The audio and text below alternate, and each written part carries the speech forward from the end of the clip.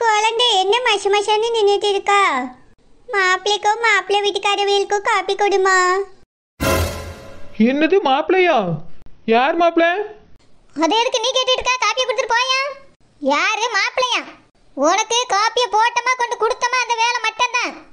விசாரிக்க வேலைலாம் உனக்கு கொடுக்கல. சரோஜா எதுக்கு அவளை போட்டு கத்திட்டு கிடக்கா? ஒரு ஆர்வத்தில் சின்ன பிள்ளை கேட்டிருப்பா. இது மாதிரி குழந்தை மாப்பிள்ளை வேற யாரும் இல்லைம்மா. சரோஜா தம்பிதான் ஆ ஹெட் மாஸ்டர் தம்பியா?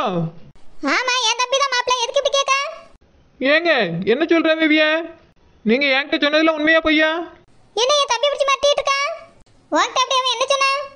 ம் உங்க தம்பிகிட்டே கேளுங்க. தம்பி இவன் என்ன சொல்லியா? ஏக்கா இதை எப்படி சொல்றதுன்னே எனக்கு தெரியல. என்கிட்ட வழியில மறிச்சு சொன்னீங்களா அதே மாதிரி சொல்லுங்க. மலர் அப்படின்னா உனக்கு இஷ்டமா? நீ சாரின்னு சொல்லு நான் அந்த பொண்ணை வேண்டான்னு சொல்லிடுறியே ஜேம்ஸ் என்ன நடக்கீங்க?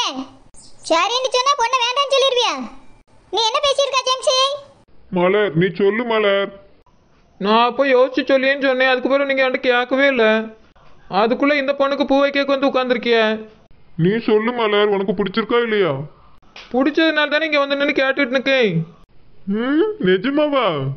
ஐயோ கடவுளே. அவன் பிடிக்குதாங்க நீ பிடிச்சிருக்கங்க என்ன நடக்கீங்க? ஜேம்ஸ் நீ யாரு சொல்லித்தல என்ன நடக்கீங்க? ஏக்கா எனக்கு இந்த பொண்ணை ரொம்ப பிடிச்சிருக்கு. எந்த பண்ணு ஜேம்ஸ் இதோ இந்த மலர் தான். எனக்கு மாப்பிள்ளைய ரொம்ப பிடிச்சிருக்கு. சே உன்னைய தம்பி பொண்ணு பார்க்க கொண்டேன் என் நோத்தனா ஜெனிய பார்க்க வந்திருக்கான் சமையல்காரி நீ வந்து எனக்கு பிடிச்சிருக்குங்க? அண்ணி உங்க தம்பி தான் முதல்ல இனி பிடிச்சிருக்குன்னு சொன்னாரு. என்னது அண்ணியா? ம். ஏக்கா எனக்கு இந்த பொண்ணை ரொம்ப பிடிச்சிருக்குக்கா கல்யாணம் பண்ணி வைங்க. இங்க போர் தம்பி ஜேம்ஸ் அதெல்லாம் நடக்கவே ஏம்மா அந்த பொண்ணை தான் எனக்கு ரொம்ப பிடிச்சிருக்குமா இவ்வளோ கல்யாணம் பண்ணி வை. என்னைய ஜேம்ஸ்? சம்மந்தி வீட்டு பொண்ணை பார்க்க வந்துட்டு இந்த பிள்ளை பிடிச்சிருக்குன்னு சொல்லியா? அப்படின்னா நீ முதல்ல சொல்லியிருக்கலாம்ல. ஏம்மா அதான் இப்போ சொல்லிட்டேல எனக்கும் அவளுக்கு கல்யாணம் பண்ணி வைங்க. சம்மந்தி ஒரு சின்ன பிழை நடந்துட்டு எங்களை வருத்தப்பட்டுறாதுங்க. என் மகன் அந்த பிள்ளைய தான் பிடிச்சிருக்குன்னு வாயை திறந்து சொல்லிட்டான். அவன் விருப்பத்தை மீறி உங்க பொண்ணை கல்யாணம் பண்ண முடியாதுல்ல? எம்மா நீ என்னம்மா பேசியா? இவ எப்படி என் தம்பிக்கு பொண்டாட்டி ஆக முடியும்? இவ என் வீட்டு சமையல்காரி. ஏக்கா நான் கல்யாணம் பண்ணா என் வீட்டுக்காரிக்கா? அப்படி சொல்லுங்க மாப்பிள்ள. ஏய் என்ன விலைமா சரோஜா நீ எதுக்கு இப்ப கத்திட்டு கிடக்கா? முதல்லயே உன் தம்பி விருப்பம் என்னன்னு கேட்டுட்டு நீ பொண்ணு கேட்டுக்க வேண்டியதானே? கல்யாணம் பண்ணிக்க போறவிய விருப்பத்தை கேட்காம கல்யாணம் பேசினா இப்படிதான் இருக்கும். உன் தம்பி இத்தனை பேருக்கு முன்னாடி இந்த பிள்ளைய தான் பிடிச்சிருக்குன்னு சொல்றான். இதுக்கப்புறமும் எப்படி வேற பொண்ணை உன் தம்பிக்கு கட்டி வைக்க முடியும்? ஆசைப்படுறவியல சேர்த்து வை சரோஜா நல்லா இருப்பாவ. ஷோ இவ்வளோ நான் எங்க வீட்டு மருமகளை ஏத்துக்கிட முடியாது. எம்மா சரோஜா நான் அவள மருமகளை ஏத்துக்கிடன்னு முடிவுக்கு வந்துட்டேம்மா. உன் தம்பிக்கு அந்த பிள்ளைய தானே பிடிச்சிருக்கு? அதனால அந்த பிள்ளைய ஜேம்ஸுக்கு கல்யாணம் பண்ணி வச்சிருவோம். இவங்க இவ்வளோ நம்ம தொகுதிக்கு ஒத்து வர மாட்டாமா என்னம்மா தகுதி? உன் தம்பிக்கு பிடிச்சிருக்குல்ல.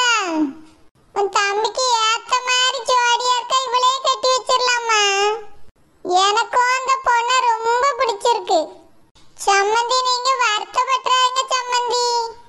பரவாயில்ல சம்மந்தி கல்யாணத்துக்கு முன்னாடியே இந்த விஷயம் தெரிஞ்சதுல அதனால ரொம்ப சந்தோஷம். நாங்கள் ஜானகி அம்மாளுக்கு வேறு இடத்துல மாப்பிள்ள பார்த்துக்கிடியோம். நீங்கள் கேட்ட உடனே தான் இந்த கல்யாணத்துக்கு ஒத்துக்கிட்டேன் சமந்தி. இப்போ உங்கள் மகனுக்கு பிடிக்கல அதனால எங்களுக்கு ஒன்றும் பெருசா வரட்டும் இல்லை சமந்தி. நாங்கள் வேறு இடத்துல மாப்பிள்ள பார்த்துக்கிடியோம். என் மகளுக்கும் இன்னும் படிப்பு முடியலை. அவளுக்கு மூணு அண்ணன்மார்கள் இருக்கானுங்க. பொறுமையாக நல்ல மாப்பிள்ளையாக பார்த்து கட்டி வைப்பாங்க சமந்தி. நீங்கள் எதுவும் நினைக்காதீங்க. சரி சமந்தி.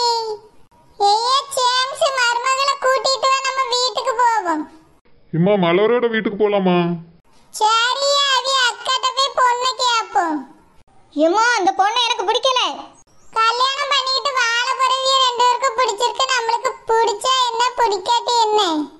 நீங்களும் எல்லாரும் கல்யாணத்துக்கு வரணும் அதுதான் என்னோட ஆசை.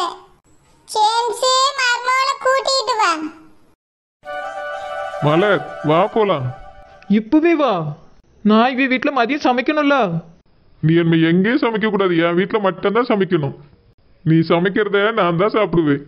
அப்படின்னா சம்பளம்? என் மொத்த சம்பளமும் உனக்கு தான்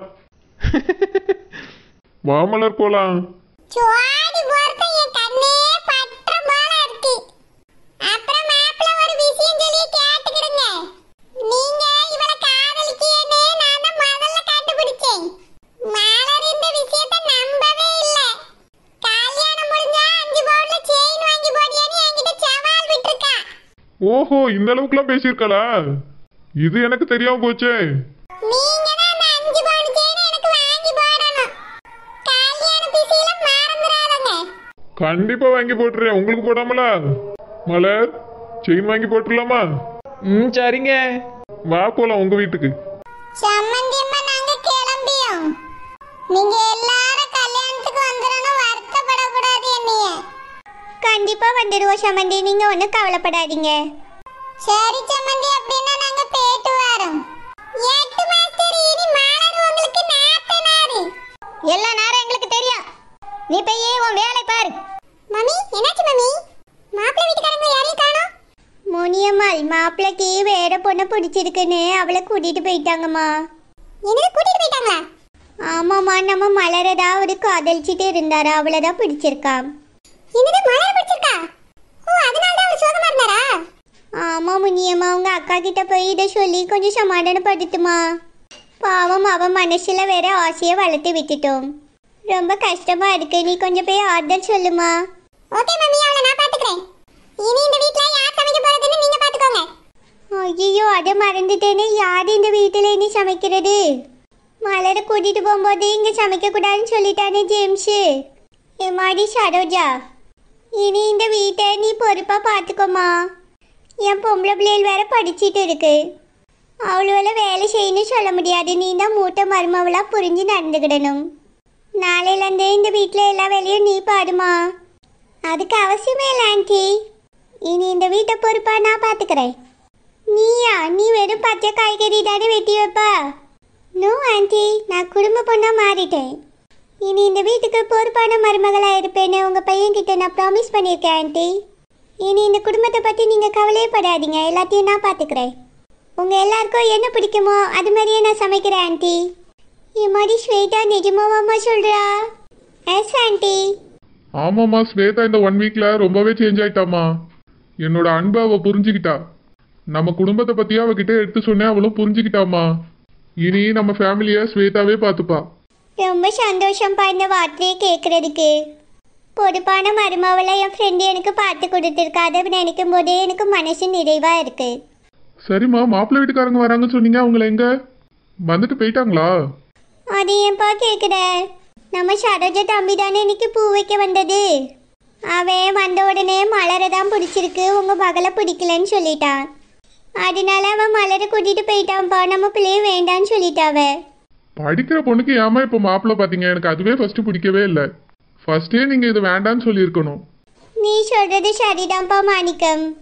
இனி அவளுக்கு படிப்பு முடிஞ்ச பிறகு மாப்பிள்ளை பார்த்துக்கிடலாம். ம் சரிம்மா.